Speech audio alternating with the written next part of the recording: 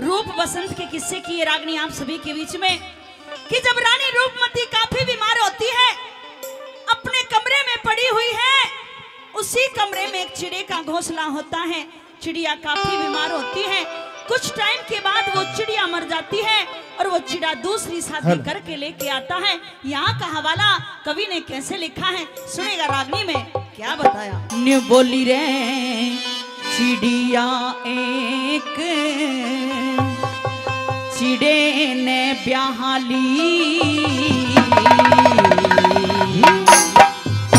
हेरे वो आगी बने। के हेरे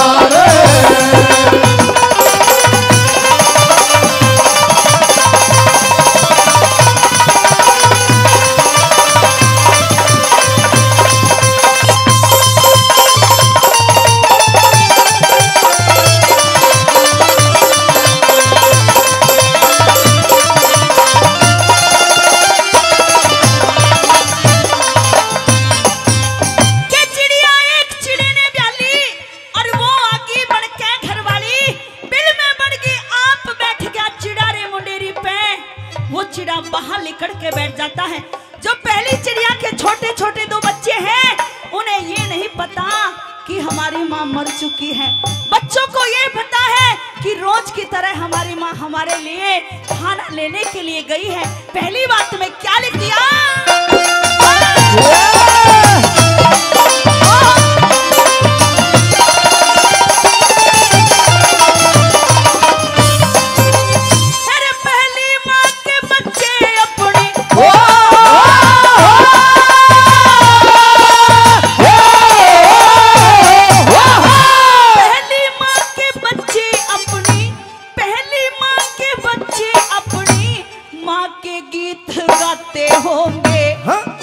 लेके चुग्गा लेके आवेगी माँ। चोकर करते लखाते होंगे। भूख के रे भूख के सताए बच्चे। भैया ने बुलाते हो भूख के सताए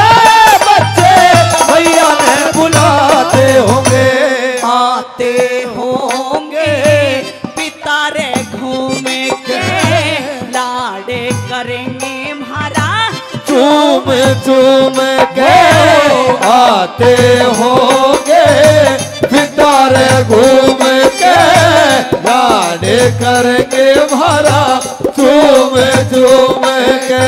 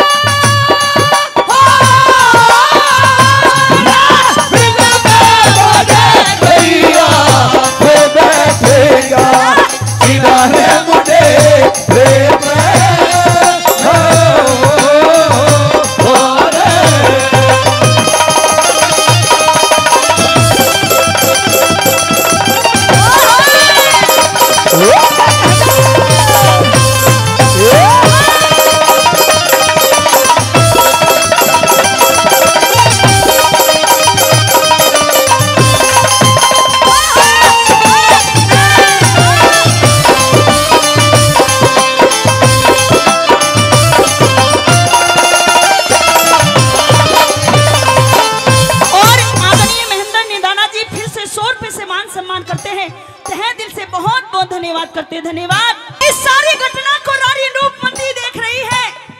काफ़ी बीमार है रानी रूपमती। मन में ख्याल आ जाता है कि मैं भी काफ़ी बीमार हूँ, कल को ऐसा ना हो जाए कि मैं मर जाऊँ।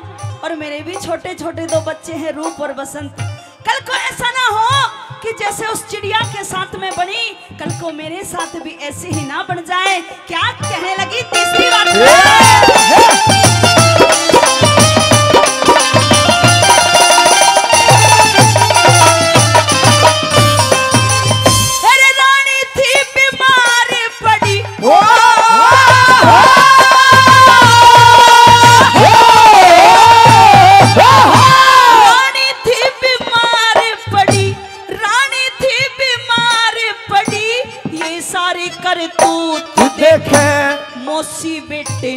हाँ? मौसी बेटे मौसी बेटे खानी जीते जागते सपूत देखे आँखों के माँ आँखों के माँ आँखों के माँ पानी भर के दोनों अपने भूत देखे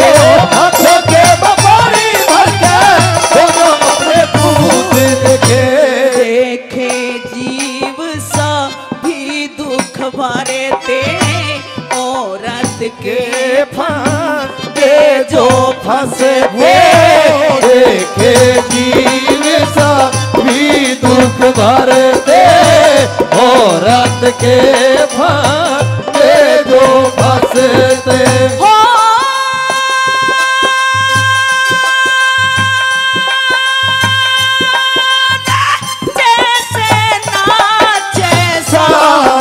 तरह की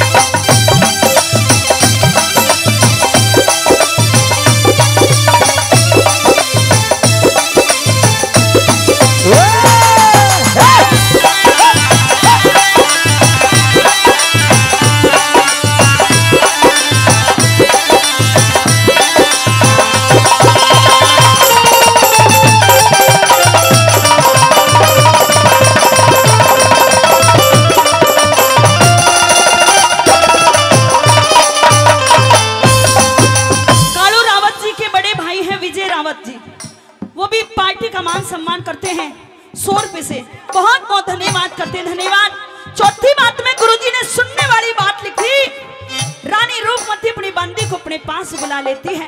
एक बात कहती है कि बंदी जा महल में, राजा को मेरे पास बुला के लेके आ।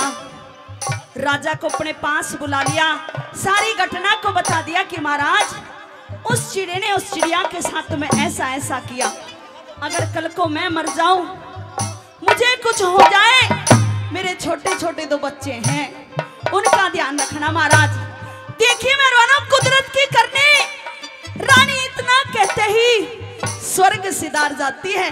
चौथी बात में गुरुजी ने क्या तोड़ कर दिया?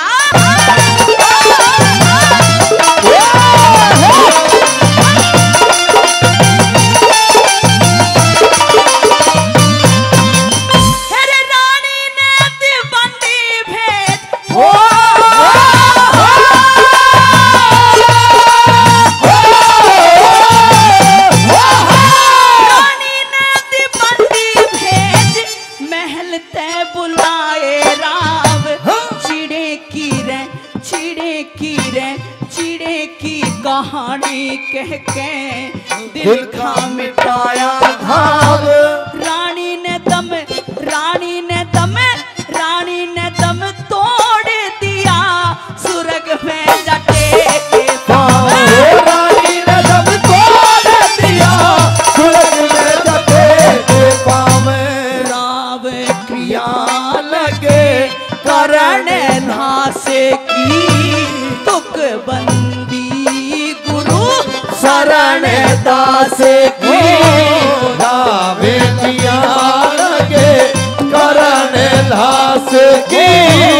Vou te levar.